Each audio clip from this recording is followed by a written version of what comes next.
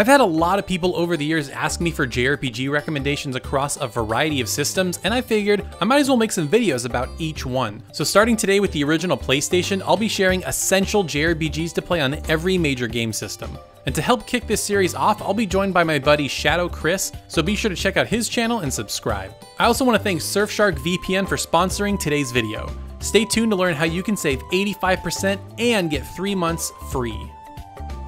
To kick things off, it's only right to start with one of the greatest JRPGs of all time, Final Fantasy VII. This is the game that popularized JRPGs in the West, and if you still enjoy JRPGs today, you have this game to thank. What made it special at the time was its massive 3D world. There weren't a lot of 3D RPGs at the time, and certainly none at this scale. This was one of the first games I can remember getting attached to characters in a deep way. And what was cool is that you got to know each of these characters during different story beats. For example, you got to know about Red 13 during your first trip to Cosmo Canyon. Of course, Final Fantasy VII has some incredible music from Nobuo Uematsu. Whether it's the emotional Aerith's theme, the world map theme that evokes a sense of adventure, or the Gold Saucer theme that just puts a smile on your face. And Final Fantasy VII also had plenty of ways to get distracted, whether that was trying to go for the gold chocobo, hunting down different limit breaks, or the large amount of Gold Saucer minigames. It raised the bar not only for RPGs, but also for storytelling and video games. If you enjoy mechs and Gundams and are looking for a dark, rich JRPG, then Xenogears may just be the game for you. Originally, this was a potential plot for Final Fantasy VII. They decided not to go with it because it was too dark and didn't really match the fantasy side of things. Compared to Final Fantasy VII, this game didn't really have the biggest budget, so their graphics took an interesting turn. Instead of using the 3D sprites of the time, they decided to go with the 2D look instead.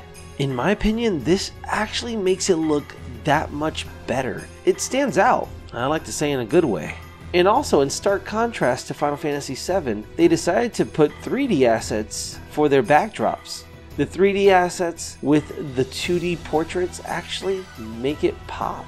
Xenogears really started my love for the whole Xeno saga, and this being a passion project of Tetsuya Takahashi and his wife Soraya, both who are really into psychology, and it shows with the themes in this game. Check it out and play it for yourself. While Chrono Cross wasn't exactly the Chrono Trigger sequel everyone was looking forward to, it's still one of PlayStation's best games. And Chrono Cross is also one of the system's most beautiful games. It has such a vibrant, gorgeous color palette, and this pairs super well with the tropical island aesthetic. Not to mention it has one of the greatest video game soundtracks of all time. I think what makes it so incredible is the sheer variety of songs and the eclectic array of instruments. Whether it's the calming Arni Village theme, the upbeat track of Another Termina, or the emotionally resonant piano tune Star Stealing Girl. Chrono Cross also had a lot of cool customization that you didn't see in any game at the time.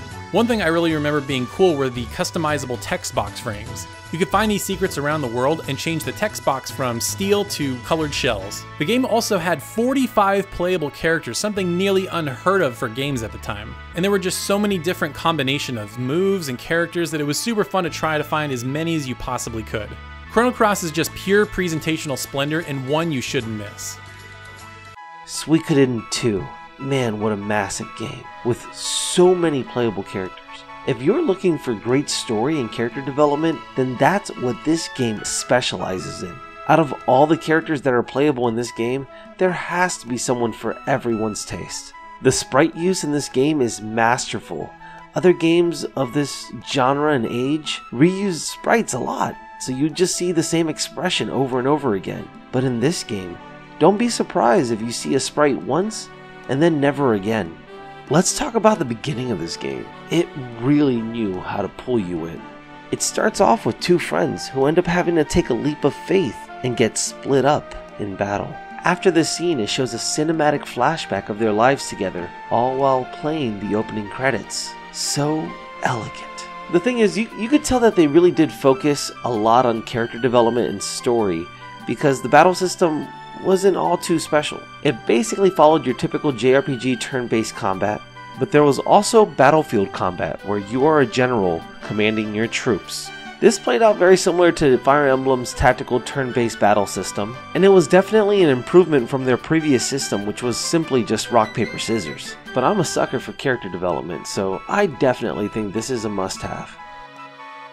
If you looked up JRPG in the dictionary, you'd probably see a picture of Lunar Silver Star Story right next to it.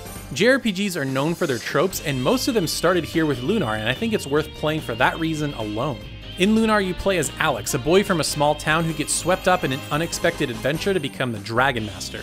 From here, you go on a globe-trotting adventure accompanied by childhood friends and one that may become a love interest. This is also one of the few RPGs at the time that had voice acting. Now, by today's standards, it's not great, but it was better than most at the time. Lunar also had some stunning animated cutscenes on the level of animated series at the time. Lunar also had one of the coolest collector's editions you'd ever seen on the PlayStation.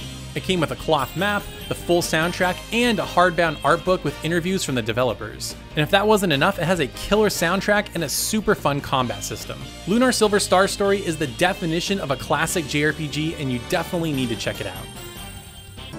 Oh, Legend of Dragoon, you either love it or hate it. I personally love it, and it holds a nice spot in my heart. I remember when this game first came out, actually, before it came out, where it was just a demo at my local electronic boutique. When I saw this game, I was just in awe. I mean, I love dragons, and like I didn't say I was a dragon child, but when I saw the gameplay and the graphics in action, back then I just needed to play it. This game had a huge budget and I think the reason it really got a bad name for itself was because it was marketed as the Final Fantasy killer. The combat for its time was pretty original, using a system called additions where you must hit the X button to match two squares. It really makes all those battles that much more engaging.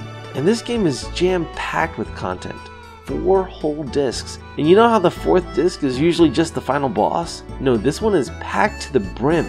Also, did you grow up watching Power Rangers? Because this game gave me major Sentai feels.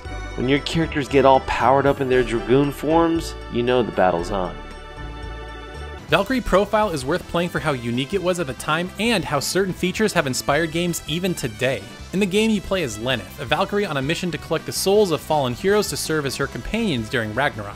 The gameplay is broken up into three segments one where you're flying around the world map, 2 where you're dungeon crawling, which is essentially 2D platforming, and 3 the turn-based combat. What Valkyrie Profile is most well known for and what makes it a must-play JRPG is the combat. The combat in Valkyrie Profile is turn-based, but what makes it unique is that each character in your party is assigned to a face button. So the strategy is learning how to time moves together to create combos and keep enemies on their toes. There are 24 playable characters in total, which makes for plenty of customization and different ways you can combo moves together. Admittedly, it is a little difficult and there is a bit of a learning curve, but if you're willing to invest the time, it's totally worth it. Now, if you want to track down an original PS1 copy, it's extremely expensive at around $250 right now, but you can find it on mobile or you could play the enhanced PSP port Valkyrie Profile Lenneth. But no matter how you find yourself playing it, it's totally worth it. You enjoy a little Western in your JRPG? As a Trigun fan myself, you know I do. You have three main characters in the beginning to choose from, each with their own lush and compelling backstory. Similar to Legend of Zelda, each party member has certain items in the game that will help you solve puzzles. But just because it's a Western at heart, don't you fret. There's still those weird looking JRPG esque enemies in it, and tons of them. It still follows a very JRPG formula, but man, that soundtrack. I feel like sound in a game, especially back then, was extremely important. It really takes you somewhere, and when you hear that soundtrack play all over again, all the memories start flooding back. The game's world map is also extremely fun to explore. It encourages you to seek out special areas that are not easily visible on the map. Even though it's a PlayStation 1 game, the graphics do remind me more of a Super Nintendo title. And you know what, I'm actually kinda glad that they used this art style because the 3D polygons didn't really age well. Vagrant Story is a game whose significance might be lost on some players today, but it pushed the envelope in so many incredible ways at the time that it just had to be on this list. Its main selling point at the time was its presentation. How it presented the game at the time with lots of camera movements made it more dynamic, especially compared to more stiff presentation styles of even Final Fantasy. Vagrant Story's characters also had animated faces, something you almost never saw for RPGs at the time outside of cinematics. This was also one of the few big budget RPGs that did not employ pre-rendered backgrounds. Now for those of you who don't know, this was a technique used at the time to give a game scale while saving on memory. Now that you know why it's important, let's actually talk about the game a bit. In the story, you play as Ashley Riot, who is wrongly accused of murder. You're now tasked to solve the mystery behind this conspiracy. The gameplay was less about town hopping and exploring, but more about dungeon crawling and puzzle solving. The combat system was a unique action hybrid system where you could freeze time and focus on certain body parts. You also had to manage a risk gauge to avoid big damage. This almost worked like a stamina meter. The music was also composed by the legendary Hitoshi Sakimoto, whose work includes Valkyrie Chronicles, Final Fantasy XII, and Final Fantasy Tactics.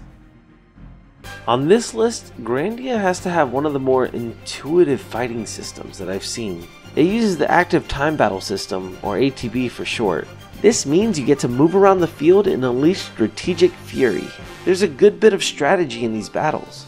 It makes things feel that much more rewarding when you win, such as being able to cancel a massive energy attack and making it out untouched. And unlike some of the other games on this list, it's way more lighthearted than your typical JRPG of the time.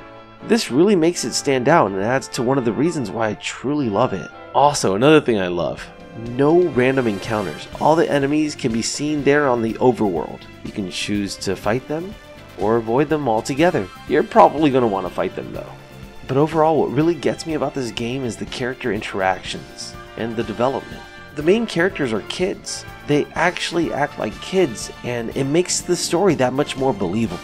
If you're looking for a fun, cute, but still epic adventure, then check this game out. And I also want to give a big thank you to Surfshark VPN for sponsoring today's video. Surfshark is a top of the line VPN service that helps secure your data online. On average, we spend 6 to 8 hours online every day, so it's important to make sure our private data is protected from malware and hackers. And have you ever had a conversation with someone only to see an ad for that exact same topic later that day? Well, with Surfshark VPN, your data is protected, so websites can't send you creepy ads like that. And with Surfshark, you can also access movies and shows not available in your region.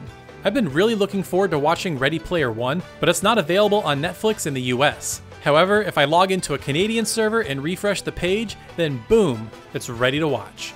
So make sure your online data is secure with Surfshark today. And if you use the promo code Gaming Shelf, you can save yourself 85% and get 3 months free. Link is in the description. And I also want to give a big thanks to ShadoCris for collabing on this video. Now if you enjoyed this and want to learn more about other systems must-play JRPGs, make sure you subscribe so you don't miss any system. Thank you so much for watching, and we'll see you next time.